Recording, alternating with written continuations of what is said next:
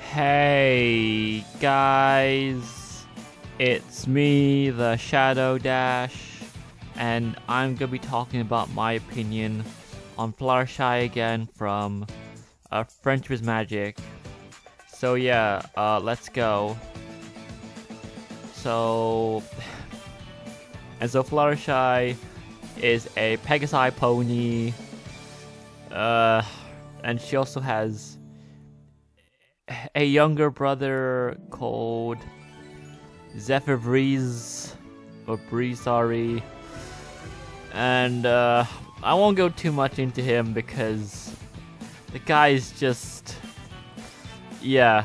Anyways, you know, yeah, uh, she's very kind, I guess, because her whole thing is she likes to be, you know, kind to animals, I guess, and ponies as, as well, and basically everyone in Equestria, but she can, you know, be assertive at times as well. Like in, I can't remember. Oh yeah, like in, like in the uh, what was it like the ninth episode of, or tenth episode of season two called uh, Dragon Quest. Or, was it 21? I can't remember. I think it was 21. Yeah, uh, episode 21. Of, uh, episode 21 of of, uh, of season two called called Dragon called uh, a Dragon Quest, where oh, um, our Rainbow Dash tries to convince Fluttershy to watch the dragons, and she doesn't want to do it. So what happened was she goes crazy, uh, punches Rainbow Dash in, like in the stomach, and then just leaves. I kid you not. But yeah, um, yeah, she can be assertive at times. Uh, but then there are times where she can be a bit too like naive, I guess, or I don't know really. She's yeah, because like I don't know really because what what's hard to explain because like her character is she wants to be nice, but at the same time, her niceness can also be a downfall. Like in the 23rd episode of season of season of season eight called um, a silence called a vow of silence.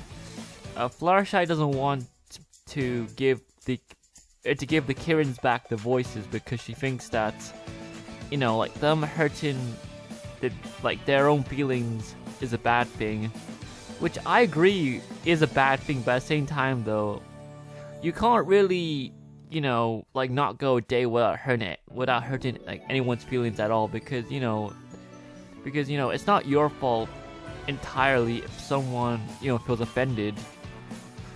So yeah, that's what I don't like about Fluttershy sometimes is the fact that she's too soft or too weak, eh, like in my opinion. So yeah, but anyways, you know, like at the end, in Discord, I still are still a thing, I guess.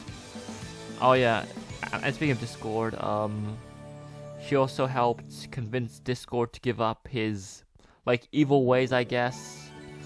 But he's still a bit like he's still a bit like what's the word? Um, chaotic at times in the show. So yeah.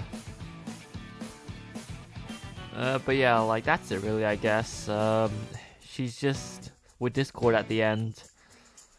And my and my overall opinion about Fluttershy is she's a cool character, but you know, I do wish I do wish like she was like she like she had more common sense at times, especially with the whole Kirin thing back in back in like season eight.